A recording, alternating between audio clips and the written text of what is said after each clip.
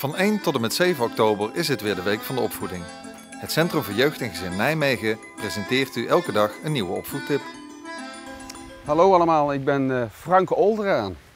Ik ben sinds 12 jaar ben ik verbonden aan de afdeling kindertandheelkunde van de Universiteit Nijmegen.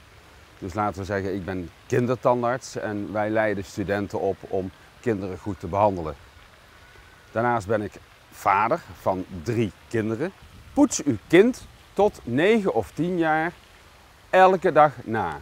Hoeft niet twee keer, maar in ieder geval het belangrijkste voor het naar bed gaan. Drinken. Waanzinnig belangrijk. Wij zeggen twee keer per dag poetsen kan je zeven zoetmomenten mee compenseren. Wij vinden dat kinderen moeten vanaf 5 jaar met volwassen tandpasta gaan poetsen. Maar wat is het lullige met volwassen tandpasta? Er zit heel veel mint in. Je krijgt kinderen van 5 jaar die 5 jaar lang Bert en Ernie tandpasta gebruikt hebben die zoet is, niet meer naar de volwassen tandpasta die heel veel mint heeft, want dat is vies. Dus laat al die leuke tandpastaatjes liggen. Begin gewoon met Elmex of Prodent. Ik heb geen aandelen. Gewoon kindertandpasta van dat merk. Kijk voor meer informatie en activiteiten tijdens de Week van de Opvoeding op de website www.cjgnijmegen.nl